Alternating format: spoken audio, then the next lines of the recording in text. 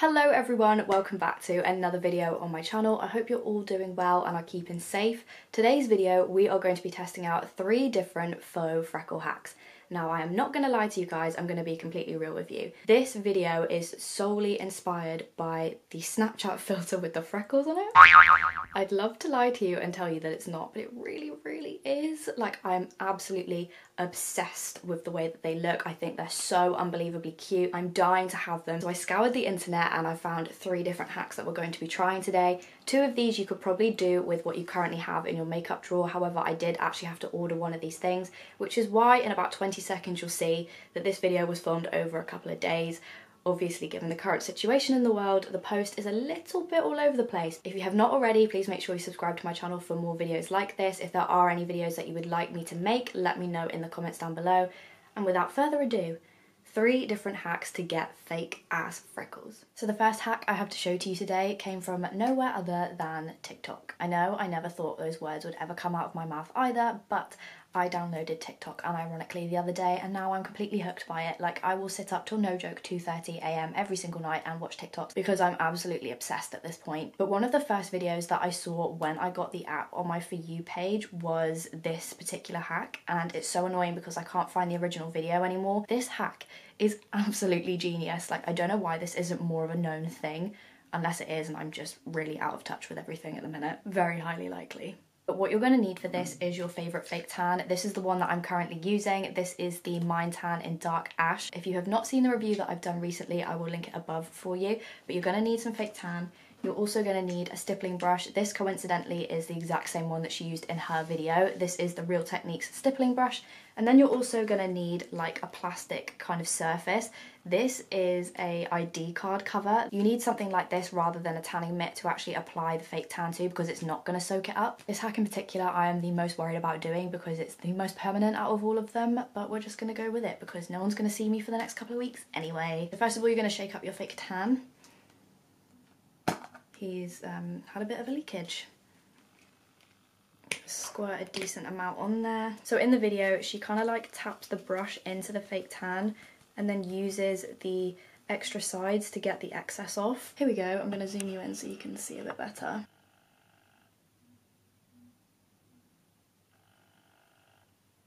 Hmm, I mean, it kind of worked. I'm going to use a bit more because I want my freckles to be a bit more in your face. So this is what my skin looks like without the freckles and that's what it's looking like with. I think to make it look a bit more natural I'm just going to bring it down a bit. But I mean it is working. Now just going in on the other side.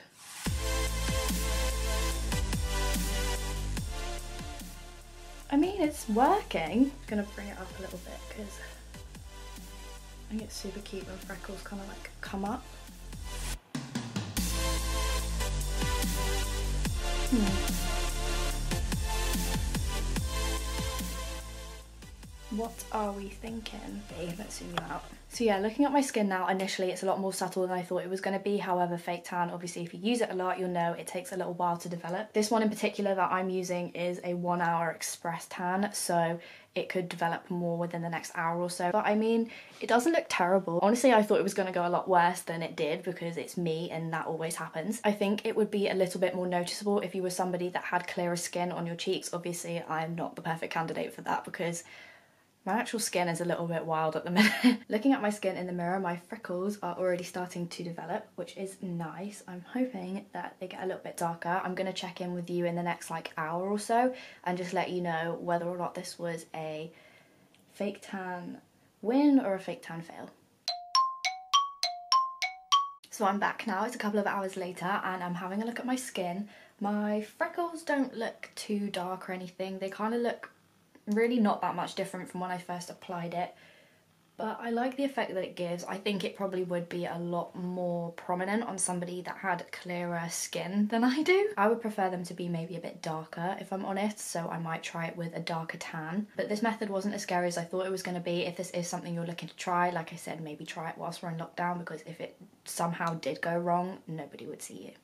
So the next hack we're going to try is drawing on our freckles with pomade. So I have here today the Maybelline Tattoo Brow in 04 Ash Brown. This isn't the one that I'd normally use to fill in my brows. I would usually use the Dark Ash Anastasia Dip Brow to fill them in, but I figured that would be a little bit too dark for freckles. And I also have a really old Demons lip liner brush as well. I've put a bit of gel on the tip of the bristles just to kind of help firm them up a bit because once you press the bristles against your skin, they're more likely to go like this rather than stay at a point and I want my freckles to be as precise and as small as possible. So as you can see, this is what my skin is looking like at the moment with my makeup on. It kind of just looks a bit flat to me, like it doesn't look like real skin. I'm just gonna go in now, dip the bristle into the end of pomade. Hmm. So I tried to do it as randomly as possible and I don't think it went as well as I thought it was going to. Let's just do a quick zoom in. So I think... oh, it doesn't look good at all. So this is what they're looking like at the minute. I'm trying to kind of like pat them out a bit, but it does not seem to be working. Like I've never had real freckles before so I don't even know the correlation of how they would go. This is my left hand side of my face and this is my right hand side. Mm, this one definitely doesn't know what's going on. Let's try again on this side and see if I can not pick it up.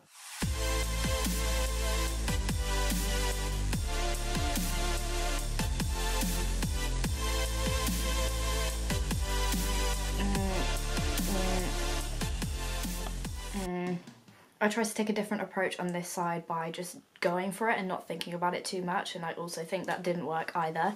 Just looking at my face in the mirror I don't know why, but it's really giving me Rosie and Jim vibes if you haven't seen that children's program because you're maybe like not in the same era as me.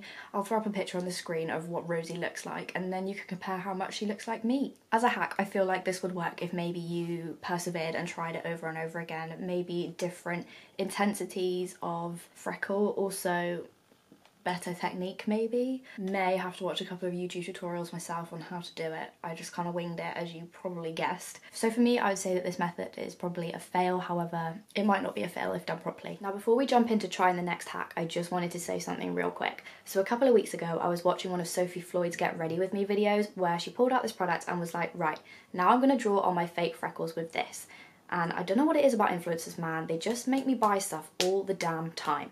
So naturally, after I watched this video, I ended up ordering this thing straight away. This product is called Freck. I bought it from Beauty Bay. It retailed for £17, which I thought at the time was a bit steep, but it is quite a niche product, so I didn't think too much into it. But my Beauty Bay parcel arrived today. This is what it looks like. It's fucking tiny. It's literally smaller than my pinky finger. Like, what the heck? I'm when I open this, it's not funny, but it is. Like, I was so mad. I was so mad.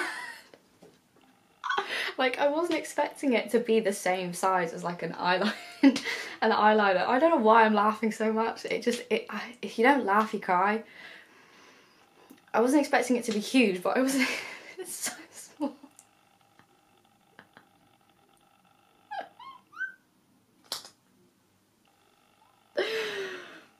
oh, it, it's so small. I just, I just needed to say that. So anyway, this is what the packaging looks like up close. It's really cute, all jokes aside. I'm just gonna try and crack into this, but it's so fucking tiny. I don't know whether my nails will be able to get in. Cute, there's a little smiley face on the inside of the box. That doesn't make up for the 17 pound that I spent on it though. that was really shady. Look at that teeny tiny. It literally looks exactly like how an eyeliner would. So I'm just going to go in on one half of my face and tap on some freckles and then blend them out and then I'll get in a little bit closer so you can kind of see a bit more. Right, now I know what the product is like, I'm going to zoom you in and then try again on the other side before I say anything else.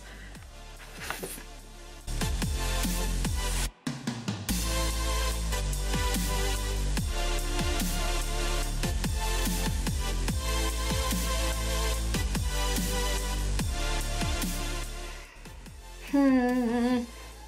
Maybe if I brought it up a bit, like how I was saying the other day. I literally look like I've got some kind of disease or something. I think this is something you need to like try a couple of times before you get it completely right because Placement wise, I, I don't think I did it good. The good thing about it though is with the excess product before it dries down, you can kind of tap to like blend and use the excess to do a couple more and just kind of make it look a little bit more natural. In summary, out of all of the hacks that I tried today, I would definitely say that my favorite was actually the fake tan freckles because it was a lot more natural for me. It was a lot less effort because I didn't have to think about placement. I just kind of like stamped it on and it was fine. I don't know how using that method work over foundation, but I'm just gonna keep trying this like faux freckle thing and see how it goes. Oh, what is this video? Anyway, if you enjoyed it, please make sure you give it a big thumbs up. If you've got any tips that you would like to share with me about maybe doing my freckles slightly better, let me know in the comments down below. I'd be very eternally grateful. I will leave links to everything product-wise that I have shown you in this video. If you haven't already, please make sure you go over and subscribe to my channel as well as follow me on Instagram. Thank you again so much for spending your time with me this week. I hope you have a super lush rest of your day and I will see you again next time for another video. Bye!